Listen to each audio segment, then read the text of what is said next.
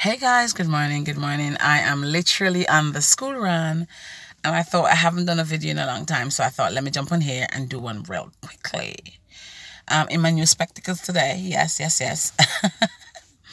um, my son doesn't like them, but so let me just do the quick live. This morning I am, I was packing some clothes together, and my son said, "Mommy, all of your clothes kind of like are the same."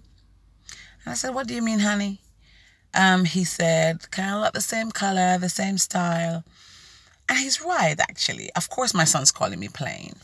But he's right. I literally dress to be comfortable. Um, I'm not a fashionable person. I've never been.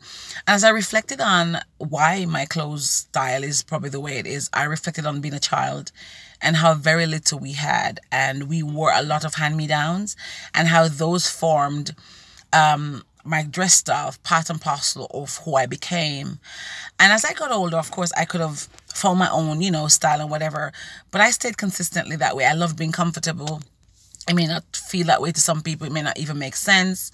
Um, my daughter on the opposite, she's absolutely fashionable. My son is absolutely fashionable. Um, but I wanted to use this to talk about what I got from that. I got from that that my son saw my consistency that even in my dress sense, I'm consistent. Might be boring, but it's consistent. And I want to say to those of you this morning who are struggling with being consistent, to really start thinking about where is that lack of consistency coming from. Because i really believe as a child you know i chased my son a lot around doing stuff around the house consistently remembering to do this this this this this. But as a child my mom didn't have to because she kept us on toe and consistently we had to do the same thing. Of course i've slacked a bit as a mother. I don't have enough help. I'm trying sometimes to do work and it's you know you compromise and sometimes you overcompromise. But going back to the point is where did your lack of consistency come from?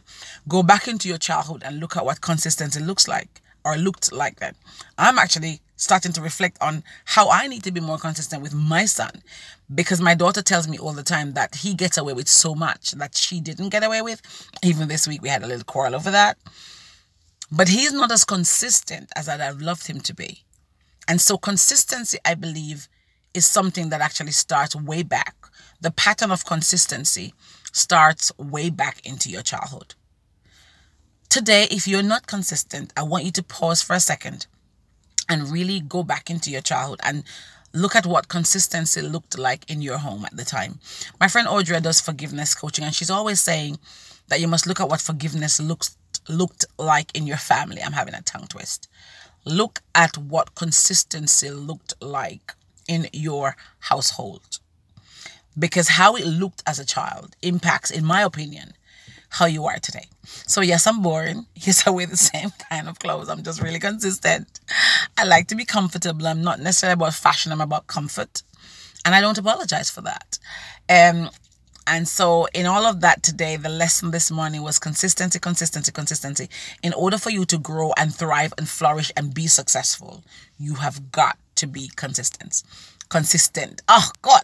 It's Dr. Ava Eagle Brown, uh, the Mango Girl. Um, thank you so much for watching. Comment, let me know. Let's have a conversation. Let's have a dialogue.